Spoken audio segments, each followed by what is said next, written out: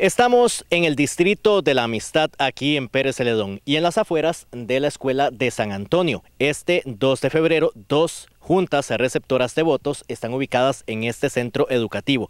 En total son seis las que se distribuyen en este sector del Valle del General. Y es que el Distrito de la Amistad entra este 2 de febrero en la historia de la democracia de nuestro país porque por primera vez participa en elecciones municipales como una zona independiente. ¿Cuáles son las expectativas? ¿Cuáles son esos proyectos que deberían caminar un poco más rápido de la mano de representantes propios de esta zona?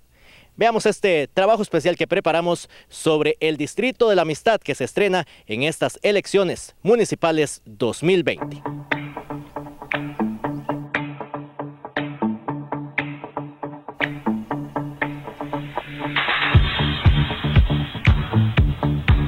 Desde 2016, la amistad se convirtió en el distrito 12 de Pérez Celedón y el próximo 2 de febrero sus vecinos podrán votar por primera vez como una zona independiente en las elecciones municipales.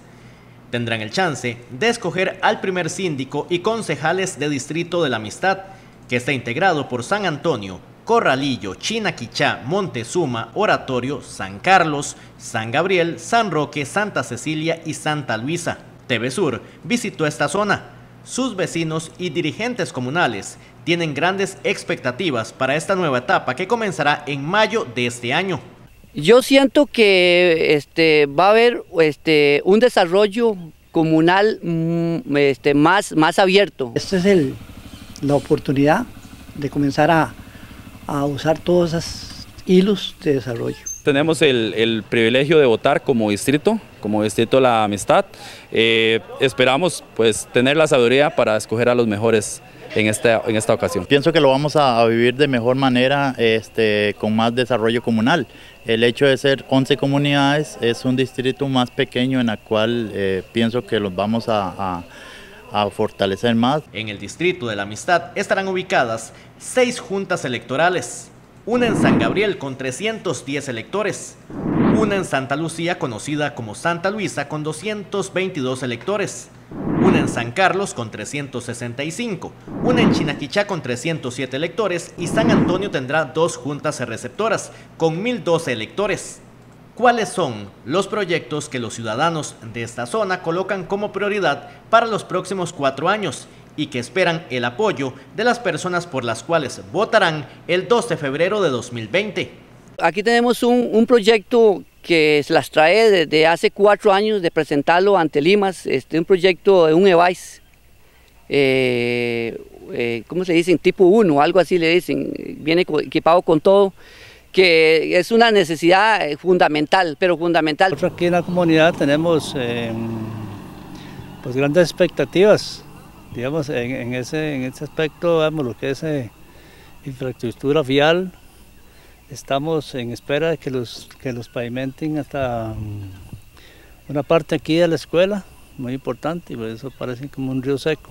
Principalmente la gente lo que quiere es que arreglen los caminos, eh, más que todos los caminos. Mejoras del salón, que siempre hemos luchado por eso, y otro proyecto en algún momento eh, debemos presentar ante nuestra municipalidad es la, cancha de deportes, que realmente contamos con una, pero no en excelentes condiciones como debería de ser. No tenemos ni un EVAIS acá, tenemos una zona indígena, tenemos caminos bastante en malas condiciones. Hay mucho, hay mucho que hay que hacer y no, no, no, no o sea, apenas comenzamos. Aquí no está haciendo falta una visita médica, aquí lo que está haciendo, que yo creo que está convencido tanto la Asociación de Desarrollo como la parte política, de que nosotros no debemos tener una visita médica, debemos tener una clínica, humildemente una clínica. Eh, son humanos y tenemos los mismos derechos que también tienen las ciudadanías o los centros urbanos. Entonces yo creo que aquí debemos luchar, tal vez no tan específicamente, pero por la salud, tener una clínica. Según los datos del Tribunal Supremo de Elecciones, los partidos que buscan sacar representantes en el Distrito de la Amistad son seis. Unidad Social Cristiana, Nueva República, Liberación Nacional, Unidos Podemos, Restauración Nacional y el Frente Amplio.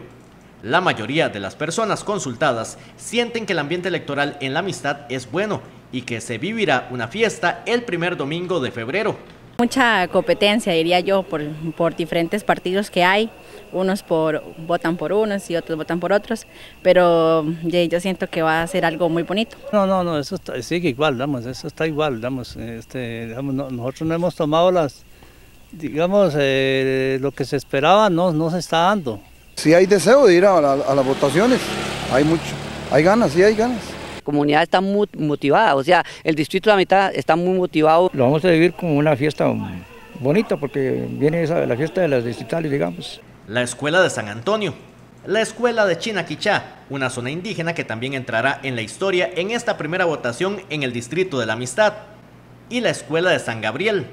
Son tres de los cinco centros educativos de la Amistad donde estarán ubicadas juntas receptoras de votos para esta elección municipal.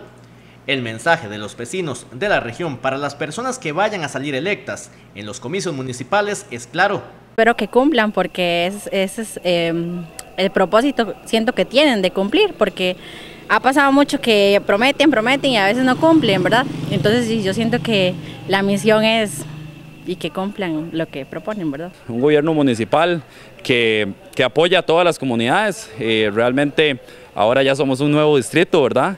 Conformado con, por 11 comunidades, y la cual, bueno, que se haya una, distribución de la riqueza equitativa. Que nos echen la manita a las, a las 11 comunidades, porque pienso que eh, a nivel de la zona eh, los, los, candidatos a, a, síndicos y a concejales eh, se, esperamos más porque ellos conocen más las problemáticas dentro del distrito.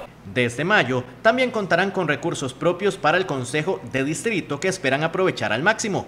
Un total de 2.216 personas están empadronadas para votar en el Distrito de la Amistad el próximo 2 de febrero.